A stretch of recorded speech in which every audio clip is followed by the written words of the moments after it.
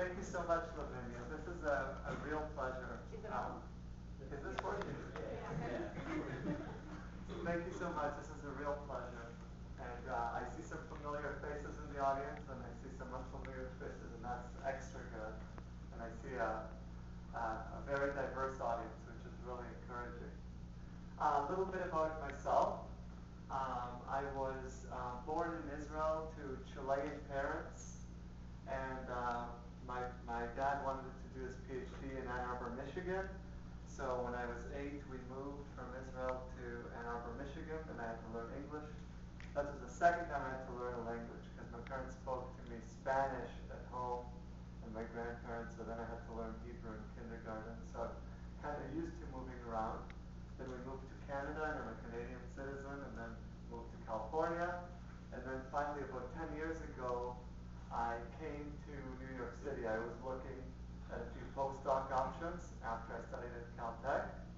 And I was looking at Stanford, and I thought, actually, it's kind of, I mean, no offense to Stanford, but I thought it was kind of boring, and I wanted to go to New York and have a couple really exciting years and get it out of my system and then move on. Uh, but when I came to New York, I fell in love twice. I fell in love with the city. I fell in love with my uh, partner, who's now my husband, and I decided I just wanted to uh, to stay in New York. And I was so lucky. I sent an email over to Columbia. I was I was doing a postdoc at NYU, and I, I sent an email to a colleague of mine and said I think I'm going to apply next year. And this is uh, Ravi Ramamoorthi. And he literally 30 seconds later, my phone rang and he said, you got to apply two weeks ago. Send me your resume right away. We're doing a switch this year. And it was this rush thing. And then it all worked out. And I've been uh, very happy here at Columbia uh, for the past eight years. It's been wonderful. Uh, Columbia has this amazing environment where on the one hand we actually have a campus uh, which ties us all together. Uh, we have such a broad education uh, spanning so many areas that really makes it possible for us to interact with people that are so different from ourselves, not just in background, but also in their mode of thought. And I think that that creates for some of the best ideas that exist. So that's a little bit about my background. My own undergraduate was in engineering, um, and when I was doing engineering, I took a program where you don't have to decide what engineering specialty you want until the third year. And around the third year, I um, uh, actually it's interesting that before I went into engineering, I wanted to study political science. So I've always had this kind of very broad range of interests. And then during my PhD, I almost dropped out before doing the code and wanted to drop out and go study psychology.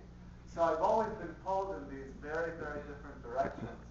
Uh, but I remember since uh, since my dad, this is kind of one of those corny, cheesy stories you write when you apply to grad school, and you say, I've always played with a computer since I grew up. And it's actually true that my dad got a, uh, an IBM PC Junior around the time when I was nine for us, and at the time there weren't a lot of programs that it came with, so you had to kind of write your own thing. And fortunately, it came with a manual for BASIC, so I taught myself uh, how to program BASIC. And another friend also got a computer at the same time, and he taught himself, and so there was this natural kind of little rivalry between us of what did you do on the computer, what did you do on the computer? Mm-hmm. And I think he's the one who started having the idea to program video games, which is a lot of what draws students into computer graphics and into computer science these days too. And and so I kind of just chasing after him, I started programming some video games too. And I remember once my my aunt from Israel came and visited, and she would only play Tetris. That's the only thing that she, she didn't like any other game. We didn't have Tetris. So I sat and I actually programmed up a version of Tetris, but I was so excited about doing it that I forgot to hit save. So she had a great time playing it, but when we turned off the computer, it was all gone, and I have no proof this ever happened. so, okay. So with that, let me dive. Uh, uh, no, I want to say one more thing. I want to say one more thing. So, when I was an undergrad doing engineering, um, I applied for a summer internship, and I, I, I, already knew that I kind of was interested in computer graphics. So I applied for a summer internship at this company called Alias Wavefront. Now, Alias Wavefront is known today as the uh, major manufacturer of graphic software for, for movie studios. And uh, I never heard back from them. And so I, I, I went and I took uh, a summer research project with, um, with a professor in computer science, but doesn't do computer graphics. They do parallel computing, large-scale parallel computing, scientific computing. And about a month into this summer program uh, with this professor, I got a phone call from Gord Kurtenbach, who was director of research and development at Alias Wavefront, saying, hey, we got your resume, we'd like you to come in. And I, I was like, well, this is like two months after I submitted it. I've already started another job. He's like, well, we'd like you to come in anyway. I said, well, I can't do this to this professor. I, I've already started. I'm going to continue them. And he said, well, come in anyway, and let's just chat. I just want to meet you. So I came in. We had this great talk. He gave me this great sales pitch about this product he was starting called Maya that didn't exist at the time, but now every artist uses it. And he said, this is going to be really great. We really want to get board. Problem is, I, I had this uh, stack of resumes, all of, uh, of artists, and we weren't hiring artists. And HR accidentally stapled your resume to the back of one of the artists' resume. So only when I was going to toss out the, the resumes we didn't need, I saw that there was a technical resume. And so that's really amazing because it just completely changed the course of my, my trajectory. I went to graduate school and got admitted to graduate school on the basis of, of the internships I did that were all in parallel processing and non-graphic stuff.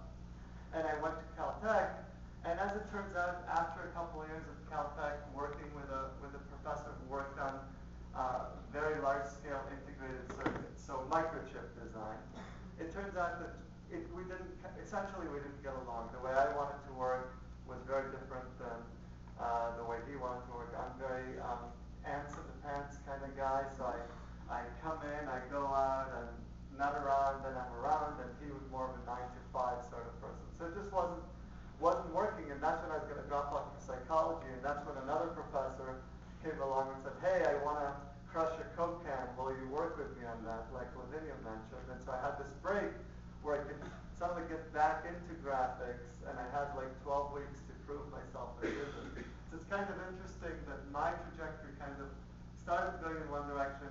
I, literally, an accidental staple took it in a completely different direction, and then it came back to graphics.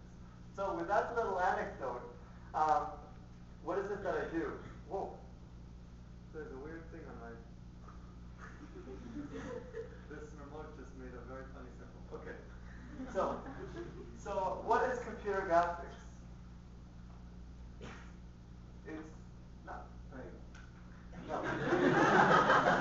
so computer graphics is the ability to display images on the screen. So it could be an image from a movie uh, it could be a work of art that's uh, thousands and thousands of miles away that is too expensive for you to get to see or, or doesn't exist anymore or is highly protected.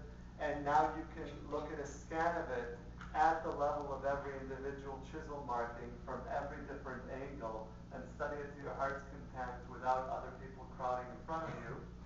It is the ability to see a building before it's been built and uh, and determine if you like the building, if you want to pay three billion dollars for it.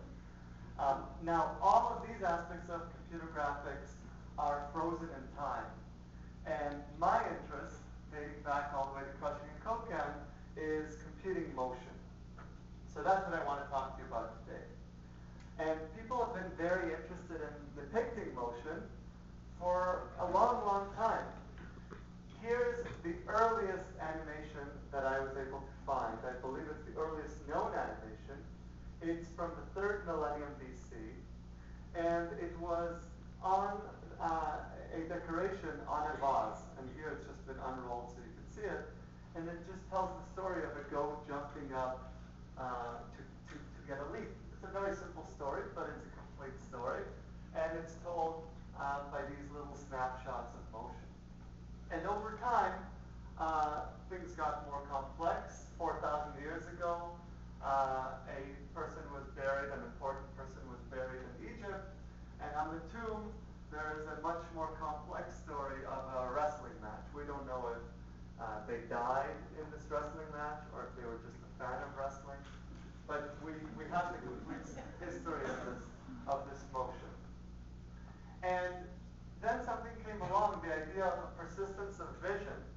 And this started in, in the um, mid to late 1800s, and it was the idea that if you take these images, these little snapshots, but you display them in front of the eye um, very quickly, one after the other, then uh, the, you get this illusion that actually it's just one image that's moving in time. And that's the predecessor of the modern cinema. In fact, the Praxinoscope, which I just showed you on the previous slide, a really big version of it was made in Paris um, in 1892, and that was the Théâtre Optique, or the first movie theater ever. And the first billboard ever for a movie was uh, right here for the uh, for this movie uh, Pantomimes.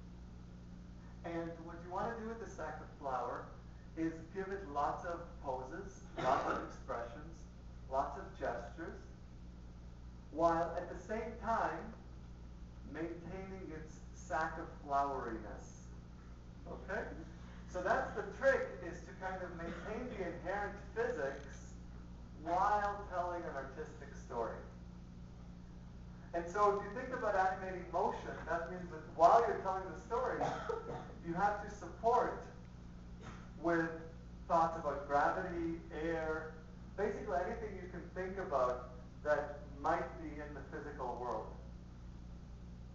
So let's take a little look at this snapshot from Snow White and the Seven Dwarfs, and let's look at how the storyline and the humor intermingles with all the underlying physics. So look for weight in the characters' bellies, look for swinging motions, look for the, the bending of the hair or the clothing, everything that supports the general inertia and motion of the story.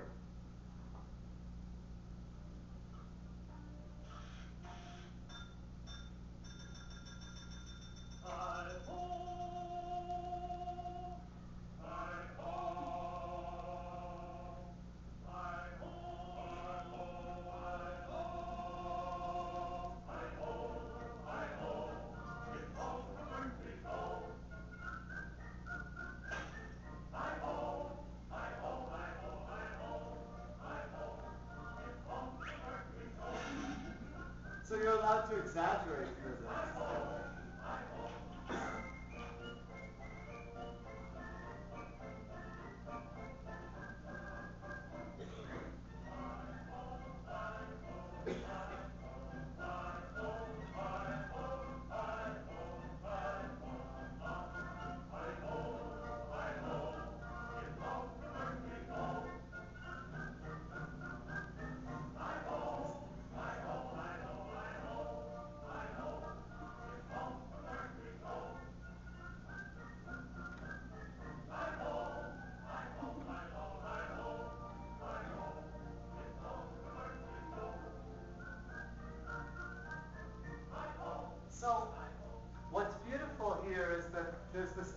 story that's being told. It captivates your, your attention.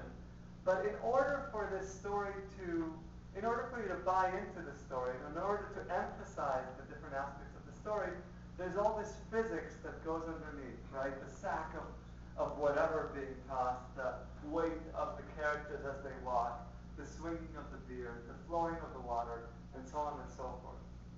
So they really worked hard on this. And it was all going pretty well um, until computers came along and essentially broke everything. We had to rethink from scratch about animation and the whole process. So now a little history about the birth of animation. Uh, one of the first graphical computers, if not the first, was the Sketchpad. And it was developed at MIT.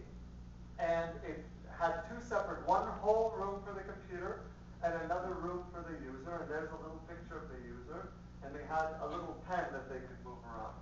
And this is the schematic of Ivan Sutherland's uh, sketchpad. And basically the pen had a little light sensor at the end and the cable attached to the computer.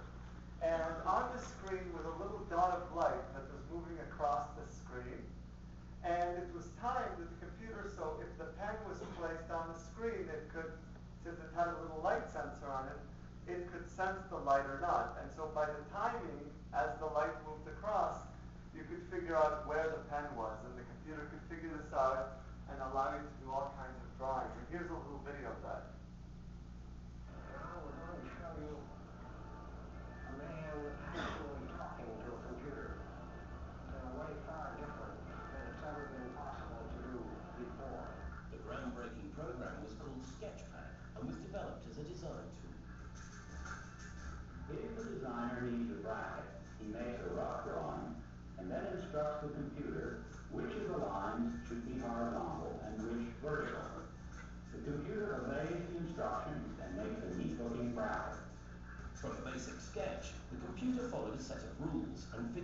Rest of the drawing itself. In the 1960s, the automotive industry developed their own programs which were capable of drawing much more sophisticated designs.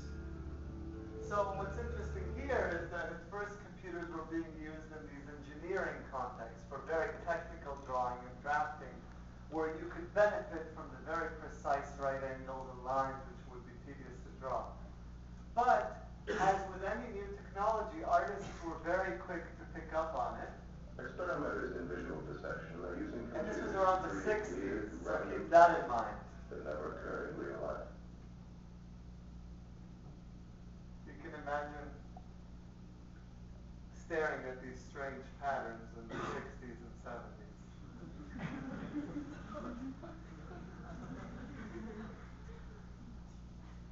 and from this kind of fringe art world and the engineering world, of course, where we're at today is that we've seen computer graphics go into the mainstream in animation. And I have this this kind of funny clip, I think, that shows computer graphics getting into the mainstream. I think we should get straight on and look at some of the award winners. We're in the commercial category. This is again from Britain. It's Robinson Lambie-Nairn and Electronic Arts Get Smarties. Very, very jolly. Yes, no, when, when I first saw this, I just didn't believe, or I couldn't understand how it was uh, cheap, but it, well, it is a computer, beautiful modelling, beautiful animation. I mean, look at that model Nothing but a computer could actually create these images. So I think they say it better better than I could say it. And from these kind of short uses of computer graphics, uh, we started seeing, well, the equivalent of Snow White and the Seven Dwarfs, but now using computers. And Toy Story is one of the most memorable movies of, uh, that came out, and it, it made Pixar famous, and it, it made the whole concept of these feature-length animated movies famous. And now look at the analogies as we start look here, and we start to look at Toy Story, and ask yourself uh, about the physics and the storyline. And also look for some of the difficulties. Look at the kind of early challenges they had of not having a lot of the physics um, in the computer animation. So they had some of it, but not all of it.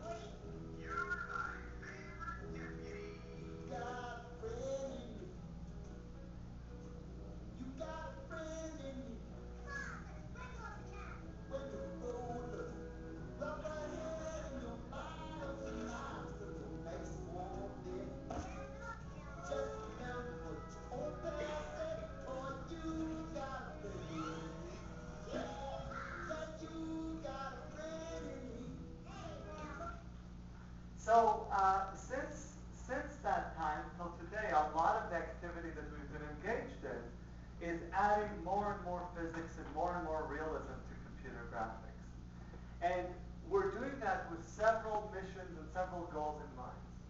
One of them uh, is to allow us to depict lifelike scenes that might be dangerous or expensive or impossible to actually film.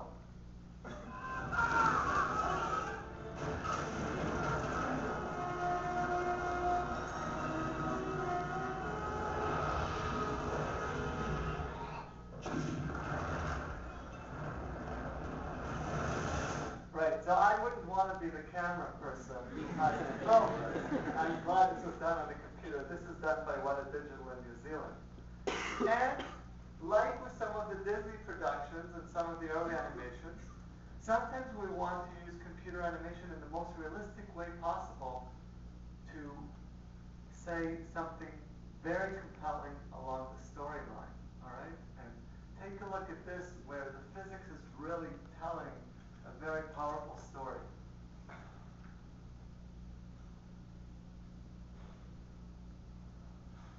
Música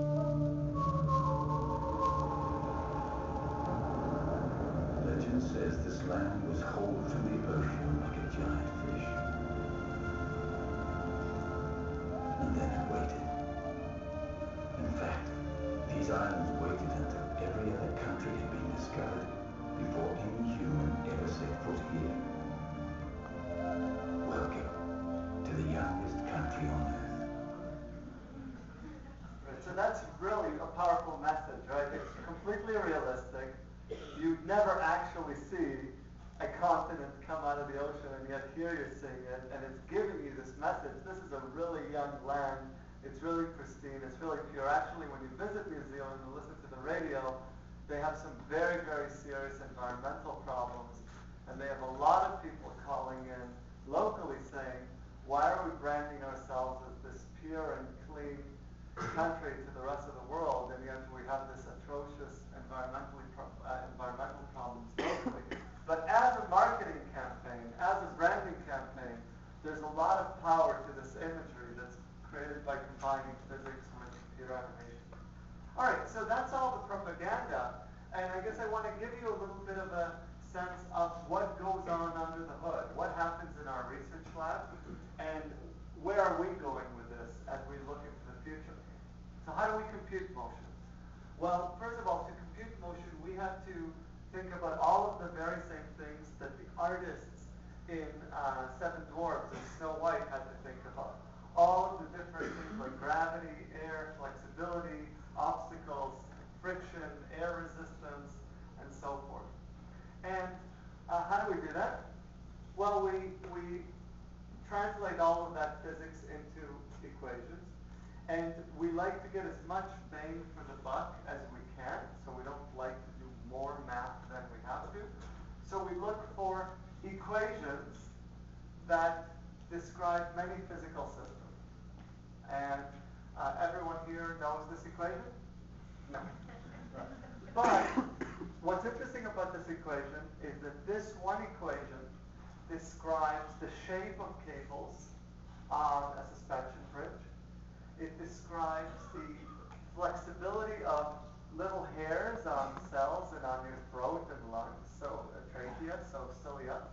And it describes the spinning motion of a spinning top. So if we can work with equations such as these that cover a lot of ground, then uh, we can have a lot of power into simulations as we do. So we try to be general when, when we model the world. The other thing uh, that we do, uh, well, we take these equations and we just code them up. Math, right? Um, well, there's a hard way and there's the easy way. The hard way is you just kind of blindly grind through all of it. And one of the things that we really focus on in our group is simplicity. Okay, simplicity as a concept is kind of uh, an awkward one to grapple with at first because you say, well, if my idea is so simple, if what I have to say is so simple, nobody's going to take me seriously. If I, if I write a, a research paper that's really simple and uh, look simple to the reader, well, they're just going to think this was this was too simple. Why are we accepting this into some fancy journal? Here's this other paper that I can barely understand. It must be harder. It must be good, right? But that's very short-term thinking. In the long term, an idea that's simple is easier for other people to understand. Therefore, it's easier to get out in the world and get used. It's going to have more impact, right? So sometimes even just today, we had a grant proposal deadline uh, having to do with origami with two engineers that I'm working with. And you only got five pages to describe your idea. And so these pages were like packed. Every little inch of them was used. Okay, and when I was doing my pass over the editing, I was deleting sentences here, there, everywhere, and create and changing some paragraphs that were really long paragraphs into short bullet points, and just making the page have a lot more white in it, a lot more blank area. And, and I was kind of the senior mentor uh, to these to these two other faculty, and they were asking me, well, isn't this a problem? Aren't people going to like think that, well, you only had five pages and you couldn't even fill up five pages, so that must mean you don't have very much to say? And I said, no, all of the panelists for, the, for, for this have tons and tons of these to review. They're going to be reading them on the train to DC where they're going to have to remember what they read and kind of give a summary and argue for why they like. And if they see five dense pages of information, they're not going to remember what they read.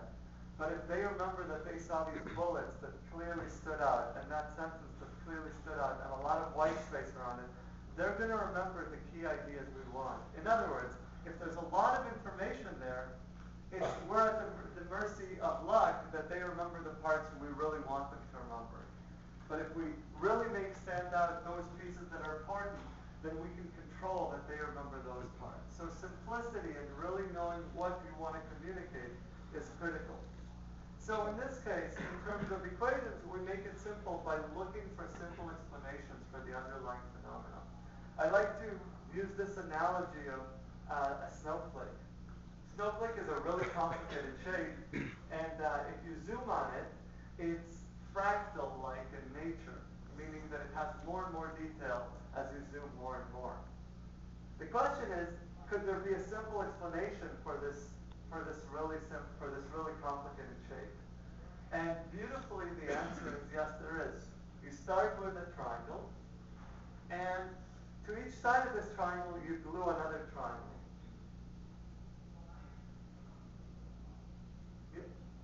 And now you have this little Star of David type shape. And to each side of that, you glue another triangle. Made of this shape, and to each side of that, you glue another triangle. And if you keep doing this over and over and over again, you get a really complex shape with a really simple algorithm or a really simple process. And that complicated shape is the snowflake. So sometimes complex phenomena can be explained in simple ways, and that's a good thing. The other thing that we do in our research is we try to focus on the interesting behavior.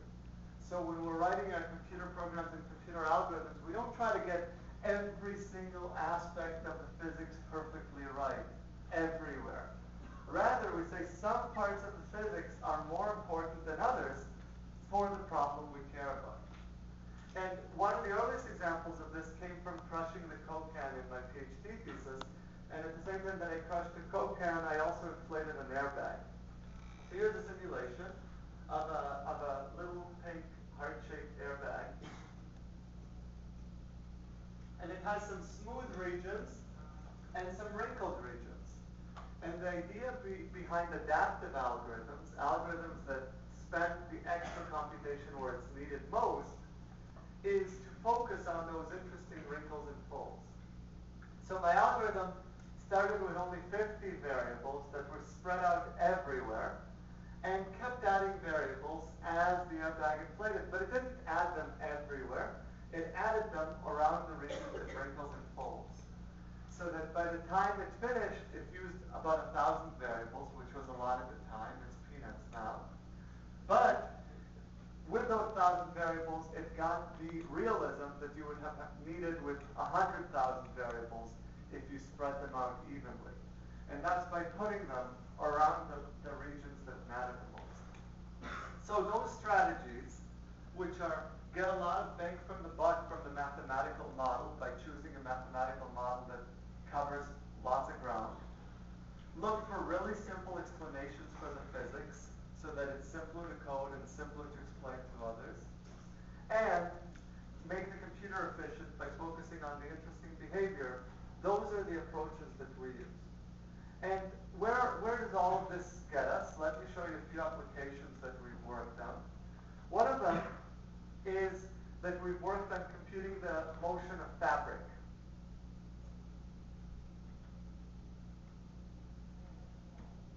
And we did this here in the lab without thinking of a specific customer in mind. But as it turns out, uh, various people got interested in our ability to simulate the motion of fabric. Disney uses it. For example, uh, in Tangled, uh, the heroine, we're not allowed to say princess. The heroine, Rapunzel, used it. The problem is, you see, and this is off the record, is that they had a lot of problems with the previous two Disney movies that only girls went to see them and not boys, you know they were girly movies.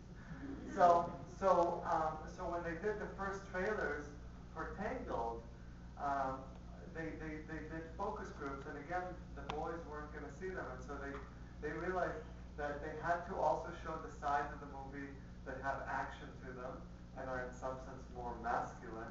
And they also had to uh, defeminize the movie by changing the princess to a heroine, which arguably also empowers uh, the heroine of the movie.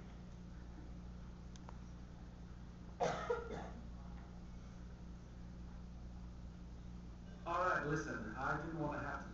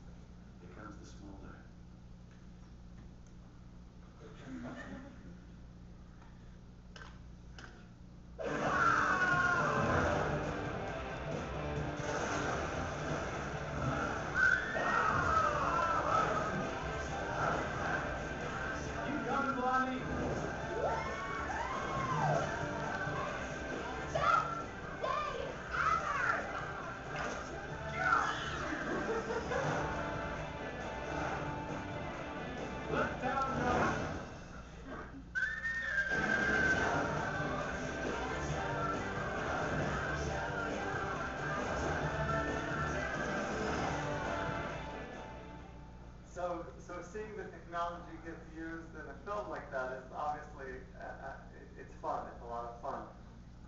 And another uh, technology that we worked on um, is for computing now instead of flexible surfaces or clothing, is to compute the motion of flexible strands. Now a strand could be a cable on a suspension bridge, it could be a strand of hair, it could be a Twizzler, it could be a little filament of DNA. Anything that's long, thin, and flexible. And uh, that, that project, uh, the timing for that was really interesting. Again, we did it kind of in this abstract sense of just this is something interesting to do. And around the time that we finished doing it, we got approached by chance by Adobe, and they said, we want to make a new paintbrush for Photoshop.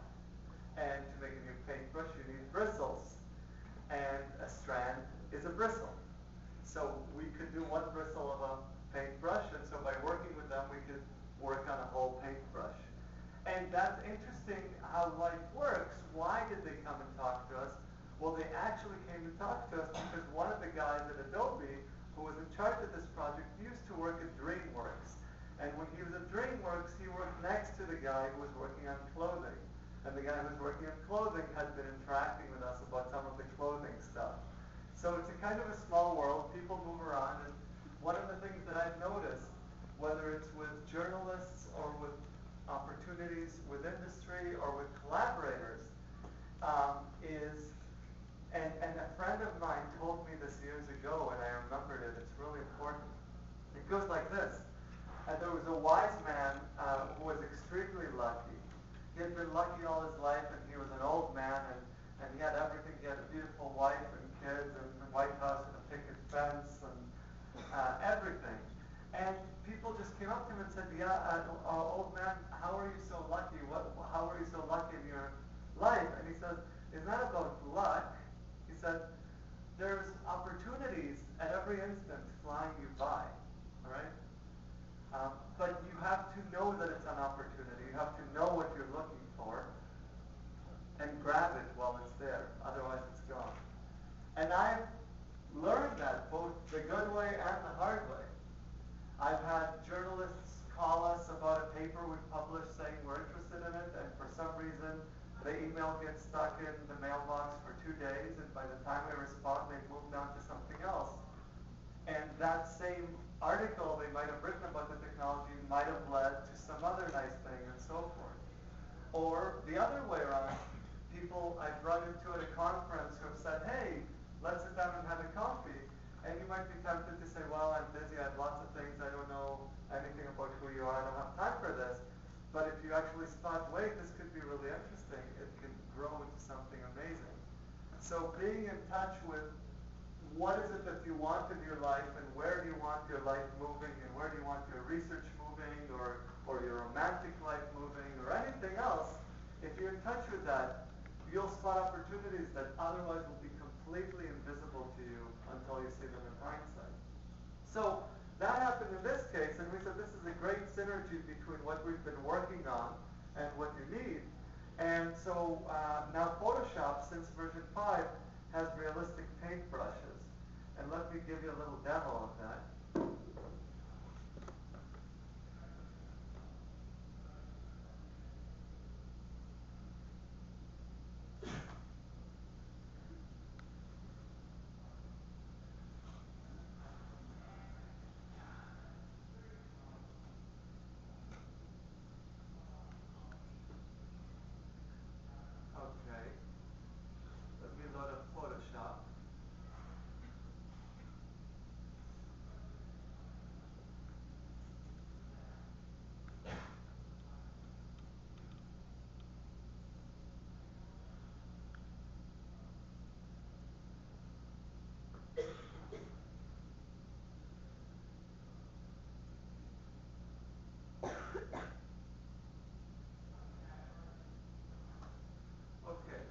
So I select the paintbrush here, and it shows me a little side view of the paintbrush. And I can adjust different things like the length of the paintbrush and the stiffness of the bristles and so forth. And then I can go and I can start painting. And this paintbrush has all of the physics of, of the strand technology under the hood. So as we paint, um, you actually see the splaying of the bristles, um, and all, each bristle carries paint on its own and they can spread out and you get all of the effects you would um, from, from a physical paintbrush. And to compare, this is what the old paintbrush in Photoshop looked like. so that's the utility of physics there as, as an impractical tool on, on, on art.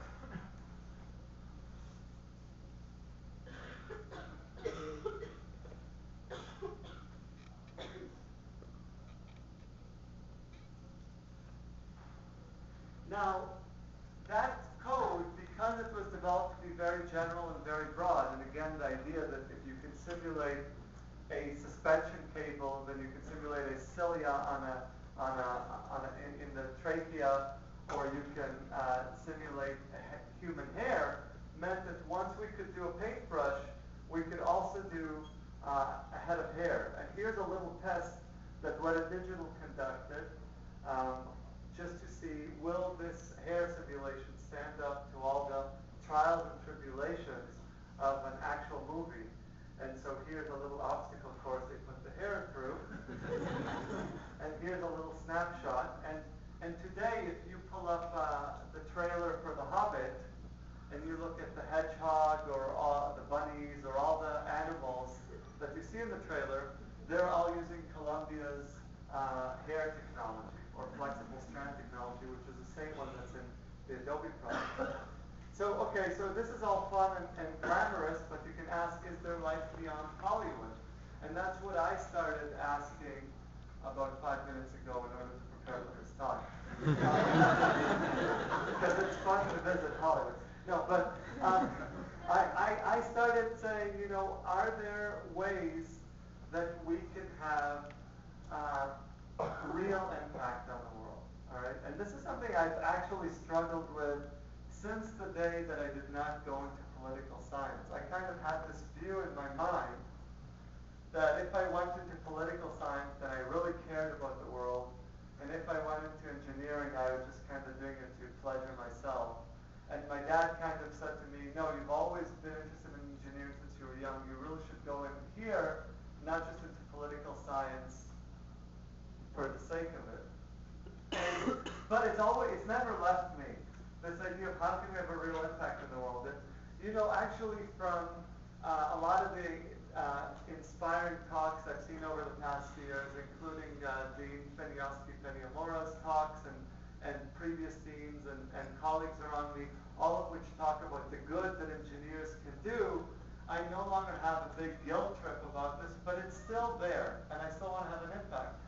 And there's an interesting struggle there. When I go to visit the studios, they give me a great sales pitch. Sebastian Sylwan, the chief technical officer at Weta, says, you know, movies are uh, the repository of the collective imagination of society. So when people imagine things, we see them in the movies. And so by, by making it possible to visualize these things, we spur the imagination of society. And I think that's interesting, and I think there's some truth to that. But for me, I really want to see how I can have an impact in other sectors at the same time. And the basic idea for me is that there's this cycle of innovation. You have an idea, you run some experiment, that experiment works or doesn't work, but you get new ideas from it, and from those new ideas you uh, you proceed and you and you innovate. And what's the costly or expensive or dangerous part of this process? It's not sitting at your desk coming up with an idea or, or in the shower, although you could slip. It's it's, it's the experiment. It takes time to set up the experiment, to, to run the experiment, to make sure the experiment works. And if you can replace that by a predictive computation, uh, then you can get a lot of mileage from that. So there's a few examples of that from, from more fun to more serious. Uh, here is a simulation uh, of human clothing where there's a pattern on the left. These are the actual patterns that a tailor would cut out of a flat piece of textile. And on the right is the sewn up, uh, draped garment on a person. And what's interesting about this software system that we developed is that it's all running in real time interactively. So as you change the garment pattern, you can instantly see how it looks draped on the human body. Now, how many of you have played with those little pull-apart puzzles? You know, two metal pieces, they're locked together, you've got to separate them. Show of hands. Okay, now I'm going to give you, a do you have it, Lavinia? I don't play. Okay. okay. I don't believe. Um, so, so I give you two options here. Uh, one way to solve that puzzle is to think really hard for as long as you want, let's say a, a whole day, and then pick up the puzzle for 10 seconds or 20 seconds, try to separate it, put it down, learn from your mistake, think really hard for another 12 hours, pick it up, play for 10, 12 seconds, put it down, and in between you think a lot. So in other words, you try a little experiment and then you think. Or the other option you have is to tinker with it. which do you think is going to get your solution faster? Tinkering, because tinkering builds intuition. And that's the idea behind getting the simulation to run in real time. You can get a lot more feel for how the garment sits on a person and how drawing various darts or cuts or changing the shape of the pattern affects the fit if you can do it in real time. Now, right now, the way clothing is designed traditionally, somebody sketches what they want clothing to look like on paper in 2D, a sketch of me, for example, wearing this fabulous clothing. And then, and then someone else, another expert called the pattern expert, says, okay, I see your sketch, try these patterns. And then a third person actually cuts them out, sews them together, and puts them on a mannequin. So that's the old process, the process that takes a really long time. This sort of technology developed last year can start to change such design processes. It doesn't have to be clothing. It can be any design process in which there's a long term or turnaround time to see a prototype. And there's a uh, startup company uh, that has licensed uh, this technology. They're called Thunder Lily. And this summer, one of my postdocs, Danny Kaufman, and one of our master students, uh, Pei Lung, have been working together with Thunder Lily to get this technology uh, and, and, and make Thunder Lily possible. And what's interesting now is that all of the garments on Thunder Lily's website were designed uh, by using uh, by using this uh, kind of design technology.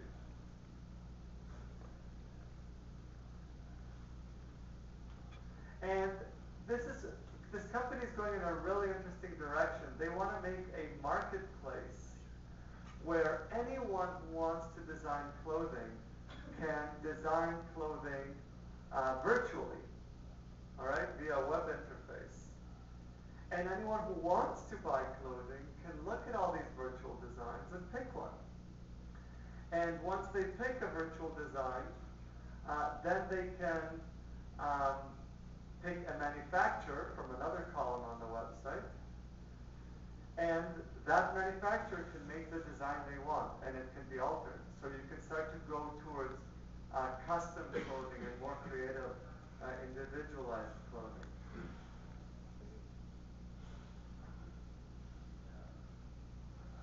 So on the flexible strand side, The project we worked on involved a physicist. His name is Basile Audoly, and he's in France. And since then, he's become a close friend of mine. But we met at a conference, and this was one of these instances in which you have to spot the opportunity and pursue it. And Basile is interested in knots because that's what he's interested in. And so he was using our software to basically compare the shapes that different types of knots take when they're twisted.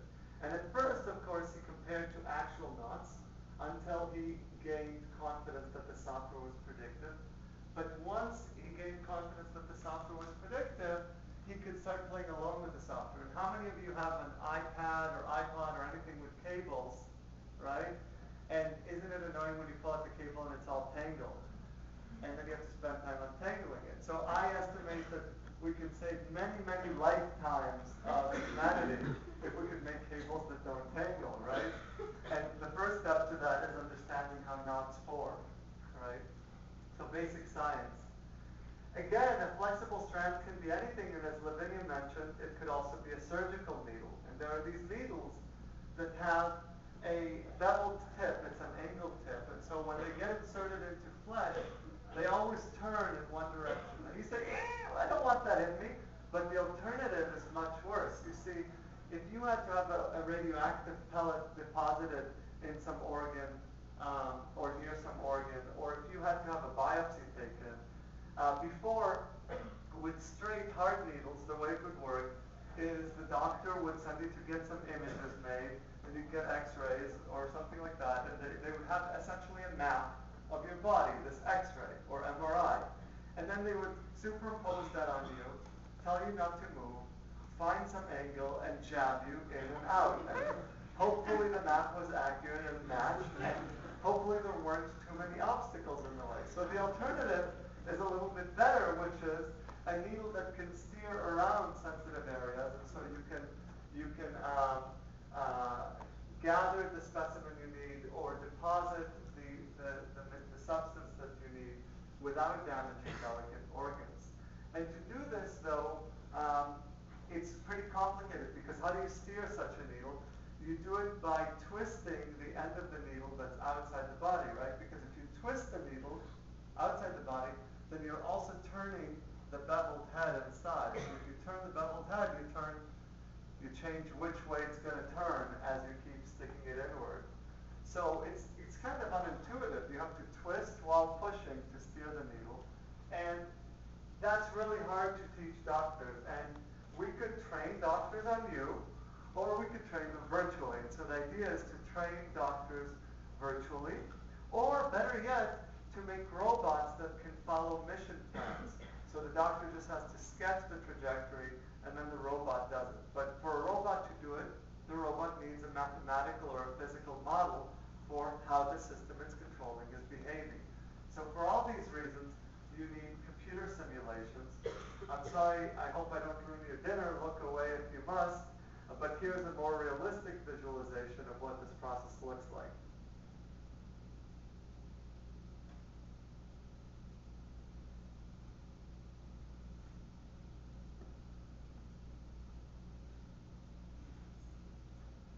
So we are at 7.15, and I have quite a bit more material, but maybe it's time to start wrapping up. What, what, what is your take, Lavinia?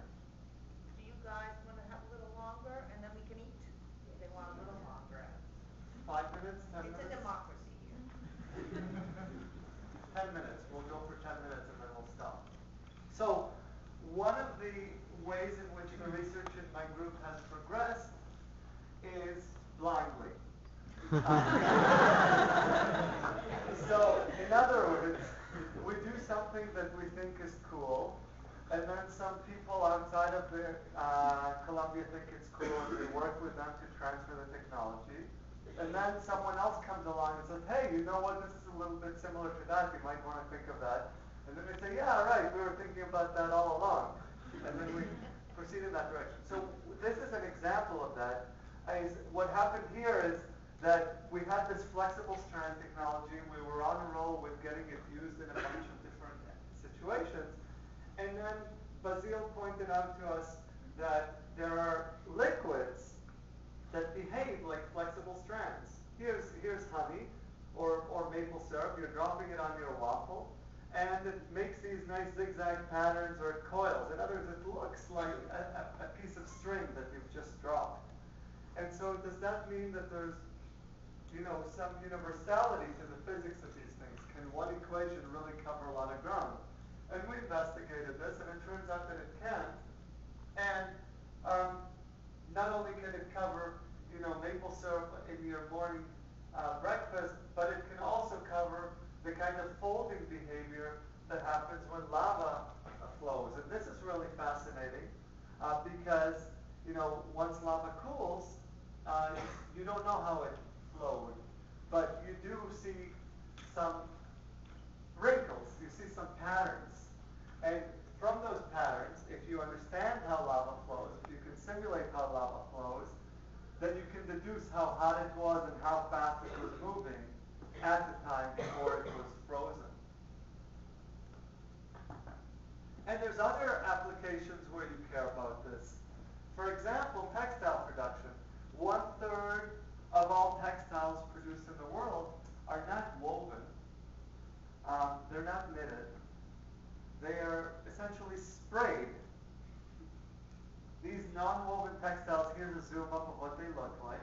And the way they're made is by taking some liquid polymer, um, putting it inside a vat that's spinning really quickly, putting a few holes on this drum, and so from those holes, this liquid kind of squirts out, and as it squirts out and contacts the air and cools, it hardens and becomes a solid, but it hits against other strings that are coming out of this vat, so it makes a net.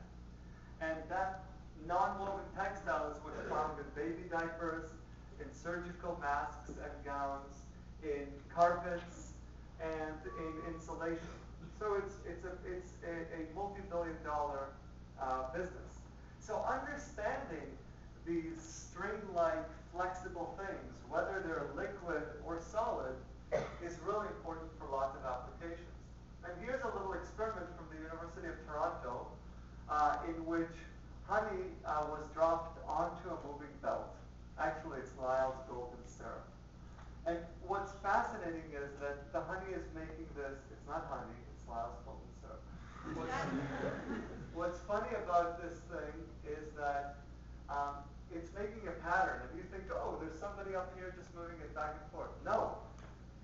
The nozzle is fixed, the belt is moving, and the honey is making this pattern. If you want a kind of reason about why it's happening, well, the honey is flowing at a rate that's faster than the belt is moving, so it kind of has to go somewhere, and so it goes in a zigzag pattern in order to kind of match the speed of the belt. It's kind of like if you want to ride your bike slower downhill, you ride it in a zigzag, so you're not going as fast downhill. It's the same sort of idea. So just by changing the speed at which the belt is moving, you get all of these amazing patterns, and in fact, several others. This is called a viscoelastic sewing machine, or a viscous sewing machine. But I think, uh, since Brandon, my husband, is a pastry chef, that it's just a really easy way to decorate cupcakes because you, you don't have to move your hand anymore, right? You just kind of hold it in place and move the cupcakes below at just the right speed. uh, but but my, my engineering friends say that it has utility for stretchable electronics because if you want to design a stretchable electronic, so uh, electronic on a stretchable material, you want to make sure your wires don't snap. And if the wires are straight and you pull on it, well, they'll snap. So you want to have your wires in a zigzag pattern so they have more give. So you've got to figure out how to deposit the wires in a zigzag pattern. And you can do it either with a really uh, precise robot, or you could do it by understanding this physical system and just depositing the wire at just the, the right rate. So a little bit of understanding goes a long way. And so we teamed up with uh, Pedro Reis, my colleague at MIT, for a project called Coiling Spaghetti. And uh, the idea is to understand this phenomenon of, of cables falling on substrates at any level. It could be at the level of an ocean liner depositing uh, internet communication cables on the ocean floor because if it deposits them in a straight line and the earth shifts, then it's going to snap and you're going to lose connectivity. And in fact, this happens, especially for islands. They can be without internet connectivity, God forbid, for weeks or months. Can you imagine a month? Who can imagine a month without email or Facebook? Right. So you want to deposit your internet cables in a zigzag pattern. And you also don't want the ship to go too slow because if it goes too slow, you'll get one of the other patterns, a loop-de-loop. And that can just get snagged, or worse, you can get interference uh, in the communication cable, so you can lose data that way. So you got to deposit it just right. But sometimes the ocean floor is miles and miles underneath the ship, and so it's hard to see there. It's hard to know how deep the ocean floor is, so you need some mathematical model for how fast the ship should go.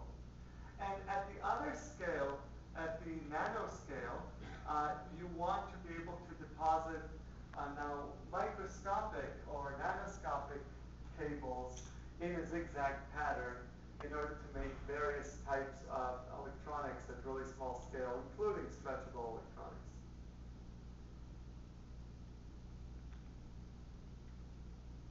So we have this uh, kind of partnership going. Uh, Pedro is an experimental physicist, and so he builds essentially desktop scale experiments. They're at, at literally the size of a desk, where he drops his spaghetti and watches the patterns, and we run our simulations and we communicate back and forth. And we've been making a lot of progress with these this kind of problem.